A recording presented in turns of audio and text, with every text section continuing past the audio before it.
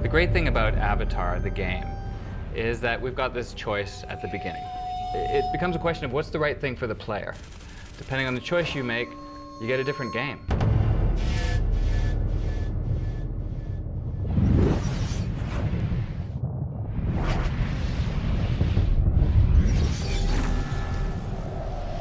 The choices you have to make are often challenging. You really want to do the right thing for uh, for the right reasons, and uh, as you become more familiar with your character, uh, his own redemption is sort of at stake. When Ubisoft came to us, they came to us not speaking about technology. They came to us about a game that was about the choices you make. The choices you make in the game affect the world around you and your play around you, and that's really exactly what the movie's about. You can play the game as an RDA trooper, or you can play the game as an avatar. You have two choices. So there are no good guys and bad guys. And it's a question of, you know, what's the right thing to do? It has to do with perception. If you're told to expect something, that's what you're going to see. So you have to see beyond that. So one of the themes of the film is this idea of changing perception, changing um, the way you view other people, other cultures, and this environment. So, you know, Pandora is kind of a metaphor for that.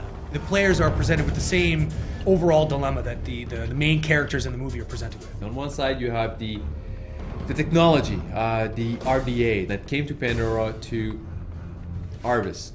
From an RDA perspective, they're just trying to do a job to get stuff back to Earth. Fighting for the RDA is what every gamer is expecting.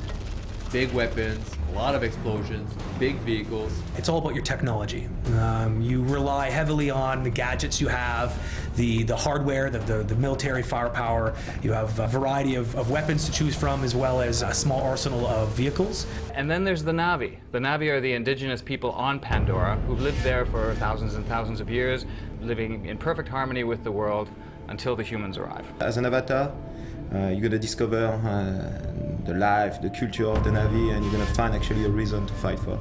Right away, your perspective changes. Whereas before you were kind of looking up like this at all the Na'vi, you instantly feel much more powerful. The trees are your friends like they never were as, as a corp.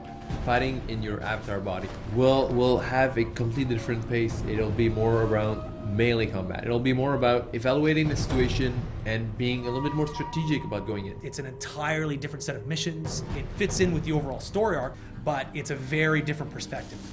You're a 10 foot tall soldier. Avatar the game is basically the story of two worlds in conflict. And it becomes a question of what is the right thing for you to do, and you go down two different paths. When you do that, you effectively get two games in one.